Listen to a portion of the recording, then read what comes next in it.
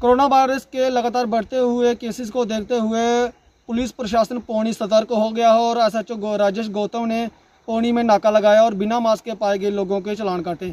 आपको बता दें, दो दिन पहले 11 केस डिस्ट्रिक्ट रियासी में आए हैं और उसको देखते हुए पौनी प्रशासन सतर्क हो गया है। जो बिना मास्क के घूम रहे लोग हैं, वो पाए गए हैं और उनको राजेश गौतम ने चलान किया और जो टूरिस्ट गाड़ियाँ थी, उनको भी देखा गया कि जो बिना मास्क के थे उनके चलान जो है वो प्रशासन कर रहा है। और मेरी आपसे अपील रहेगी कि घर से बाहर जब भी निकलो प्लीज़ मास्क डाल के निकले क्योंकि अगर बिना मास्क के पाए गए और आप आपको सौ रुपये से पाँच सौ रुपये तक चलान जो है वो हो सकता है। देखिए इस रिपोर्ट में।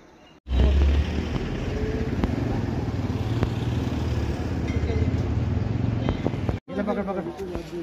एक नहीं नहीं आप ही नाम बोलो ये बाबू ये सब जाने दे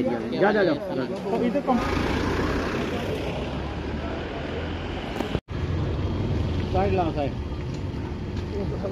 जा तो इधर कम साइड ला साइड